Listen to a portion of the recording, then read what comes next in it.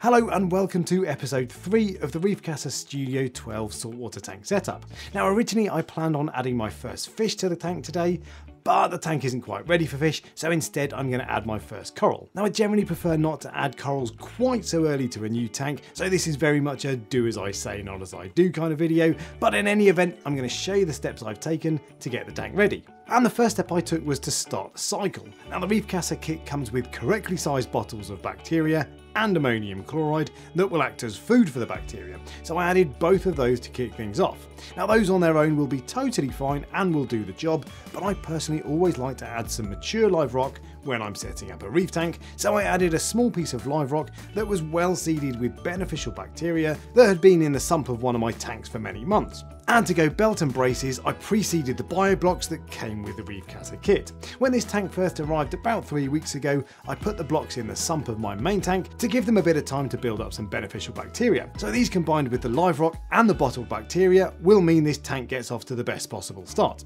But because I'm adding an ammonia source, I will of course still get high ammonia levels, so I've added this Seachem ammonia alert disc to keep an eye on those levels. These discs last for up to a year, and they show you instantly if there's ammonia in the water without you needing to test. And although the colour isn't very clear on this clip, you can see that it does register when it detects ammonia and in fact the colour was very dark indeed for the first few days, indicating the high levels of ammonia I'd added. And I then left the tank to settle down for a few days before I added my first coral. Now while ammonia levels that are this high will kill any fish I put in the tank, they won't do any harm to the corals. However, in the first few weeks of a reef tank, the water chemistry is a bit up and down and the nutrient levels aren't stable, which is not ideal for most corals, so I've made sure to choose hardy soft corals that will be totally fine in this environment.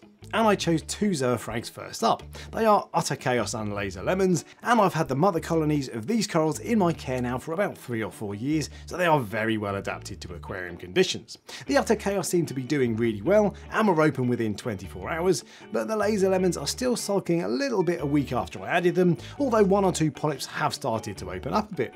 Now I didn't intend to add any cleanup crew while I still had ammonia readings, but when I came down the next day after adding my corals, I noticed I'd accidentally added a dove snail that had hitchhiked in on one of my zoas. Now I have dozens of these in my main tank and I welcome them as good free cleanup crew. So I left him in the tank for a few days to see how he got on, and after a couple of days he was doing fine, so I decided to add a few more to tackle any early outbreaks of diatoms or algae. And a few days later, I noticed I'd got my first outbreak of diatoms. Now diatoms are a totally natural part of cycling a reef tank, and are basically the bottom of the food chain, so that is very much good news for my snails.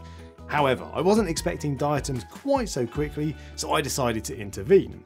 I tested my water levels to see what the nitrate and phosphate were like, and they came in at 6.7 parts per million for nitrates and 0.07 for phosphates, which is totally fine at this stage and tells me that the tank is capable of processing ammonia and turning it into nitrite, then nitrate which means this tank was more or less cycled and I only have to wait for the ammonia levels to drop to zero before I can add my first fish.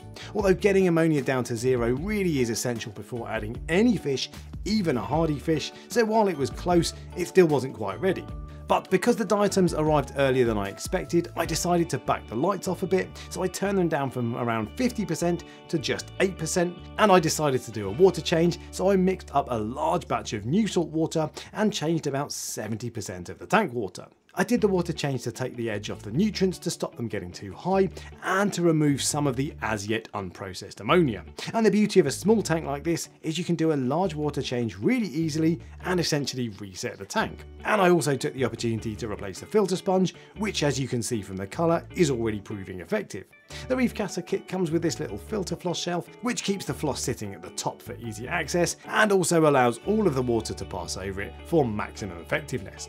And another step I took to prepare the tank for corals was to add the Reef Casa random flow generator. It's just a little nozzle that attaches to the return pump outlet, but it changes the constant flow pattern of the return pump into a slightly more random pulsing pattern.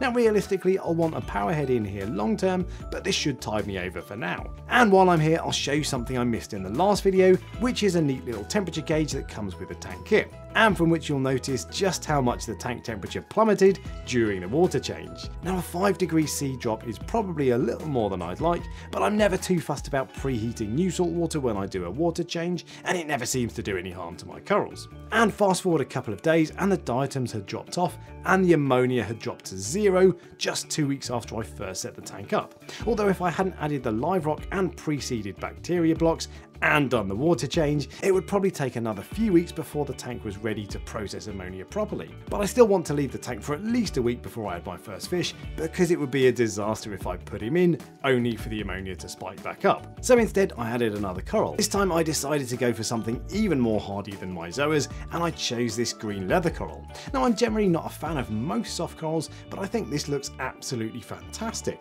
It's super bright, glows like crazy under blue light, and crucially, it is absolutely bomb-proof, so it will be capable of putting up with the up and down water chemistry in this tank for the first few months. And there are loads of little crevices in the rock that comes with the Reef Casa kit, so I just wedged the frag in place, and voila! Now although I've turned the lights down, these corals will be absolutely fine with the low light, so I'm in no rush to bump the lights back up to full power, and I'll aim to bump the intensity up slowly over the next month or two, so I don't just end up with a huge outbreak of algae. And because I now have zero ammonia, it means that the tank is ready for its first fish. But I'm not going to do that in this video for the reasons I mentioned earlier, so that will have to wait for the next update in two weeks time. So if you want to see what fish I've chosen and how I get on with adding it, Make sure you like and subscribe, and until next time, happy reefing.